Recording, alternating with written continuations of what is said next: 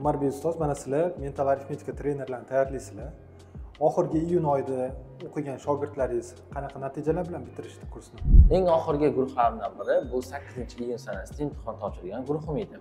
Ularni aksariyati sakson foizdan yuqori natija ko'rsatib o'zlari uchun tegishli bo'lgan diplom va sertifikatlarni qo'lga kiritib ketishdi. O'zi mana sizlar shu soha mutaxassislarini tayyorlaysizlar. O'zi mental arifmetika trenerlariga bozorda talab qanchalik hozirda bozordagi talab man yaxshi degan bo'lardim.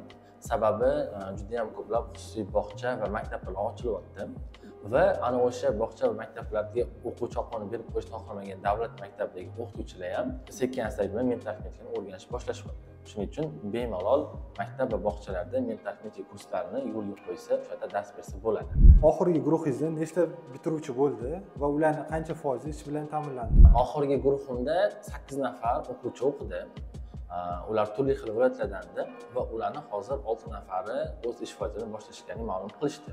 Juda qisqa muddat ichida э, masalan ularni orasida ikki kishi o'quv markazida o'z faoliyatini olib boryapti misol uchun bittalari diyorbek э, doimiy aloqada bo'lib turamiz.